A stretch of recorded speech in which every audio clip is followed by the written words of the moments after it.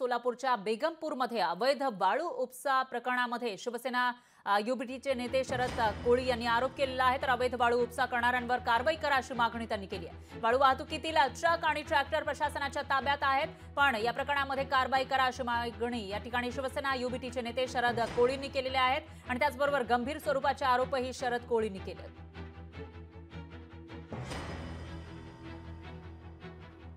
तलाठी कार्यालयापासून फक्त शंभर फुटावर अवैध वाळू उपसा होते. शंभर फुटावरती कार्यालयाचा रस्ता आहे. मग तलाठी का गप्प बसतात? तलाट्यांना कुणाचा वरदस्त आहे? वाळू माफियाला कुणाचं वरदस्त आहे? मग का कारवाई होत नाही? रोज शेकडो बरास अवैध वाळू उपसा होऊन महाराष्ट्र शासनाचं रोज लाखो करोडोचं नुकसान होत आहे.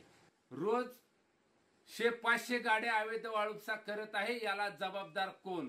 माझी आपणास मागणी आहे ज्या ज्या भागातून अवैध वाळू उपसा आहे, तिथले तलाटी सर्कल आणि बीट अंमलदार पोलीस कर्मचाऱ्यावर ते तात्काळ सस्पेंड करा गुन्हे दाखल करा.